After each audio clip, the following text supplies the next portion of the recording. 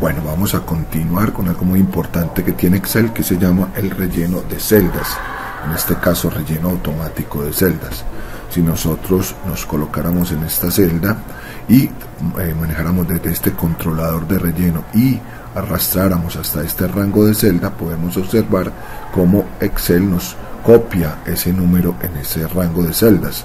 Miremos en este ejemplo, si queremos hacer una serie, pues nos colocamos en el número 1, arrastramos hasta el finalizar del rango y en este botón flotante le decimos que queremos que nos haga una serie de números. Entonces podemos observar cómo él nos eh, copia eh, o nos realiza una serie de números. Vamos a mirar acá, en este caso vamos a utilizar sin formato. Eh, si nosotros seleccionamos las celdas, vemos que no lo llena, pero le decimos que no lo copie sin el que nos copie sin el formato para que nos, nos dejen en las celdas el formato pero si lo que queremos es copiar solo el formato, pues cogemos del manejador de relleno, arrastramos, vamos al botón flotante que tenemos acá y le decimos que solamente nos copie el relleno. Ahora vamos a ver el caso especial que pasa con las fechas.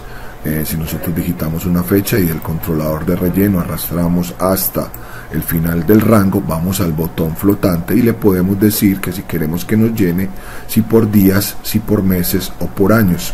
Ustedes ven ahí, vamos a decirle que nos rellene por días y vemos cómo pues eh, acá nos ha rellenado o nos ha hecho una serie de todos los días de, el, eh, de esa fecha incluida. Bueno, algo muy especial que tiene Excel es el trabajo con listas personalizadas. Eh, nosotros podemos escribir un, un, elemento de la lista y simplemente desde el controlador de relleno jalamos y vemos cómo el computador nos repite, en este caso, el contenido de la lista. Lo tenemos con los días de la semana, lo tenemos con los meses.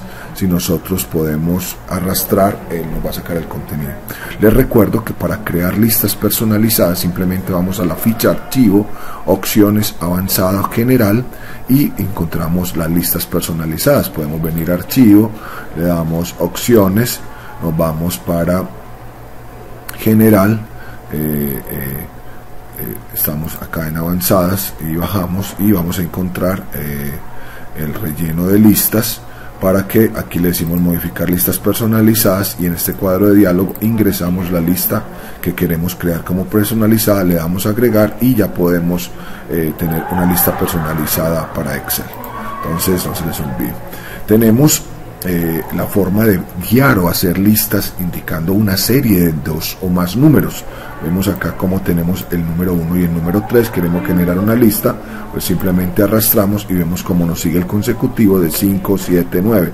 Es una lista guiada a partir de una referencia de números.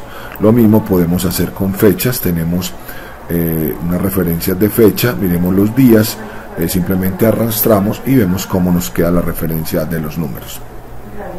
Otra de las cosas que tiene Excel es el manejo de... Eh, de atajos o de, llenado a través de referencias de celdas. Nosotros podemos iluminar, podemos iluminar eh, esta referencia de celda y damos el teclado control J y vemos cómo nos eh, hace ese llenado. Lo mismo podemos hacer hacia la eh, forma horizontal, en la forma horizontal o hacia la derecha, el teclado es control D. Entonces vemos cómo él también es capaz de llenarlo tengan mucho cuidado. Y vamos con eh, la herramienta rápida que tiene de llenado de Excel y es que él es capaz de, eh, con solo escribir una parte de texto, el, Excel es capaz de recordar la secuencia del texto. Miremos acá los nombres. entonces vamos a mirar el, la parte del relleno rápido. Excel, simplemente con digitar, con digitar el primer nombre, tenemos una lista, podemos digitar el primer nombre y con solo dar enter y pasándonos al siguiente lista y con solo digitar la primera letra vemos que Excel es capaz de recordar eh, todo el contenido que tenemos. Y simplemente dando intro vemos como Excel nos ha recordado o nos ha llenado la lista de, esto. Eh, es muy importante lo mismo nos pasará con los bueno también lo podemos ver con los apellidos simplemente digitando el primer apellido. Nosotros digitamos el primer apellido y nos pasamos de celda y si regresamos y si regresamos vemos como él con solo dar enter ya nos tiene los apellidos Eso también funciona con las iniciales. Podemos colocar las iniciales. Eh, podemos colocar las iniciales, nos eh, desplazamos de celda y si regresamos vemos como él nos eh, capta las demás celdas.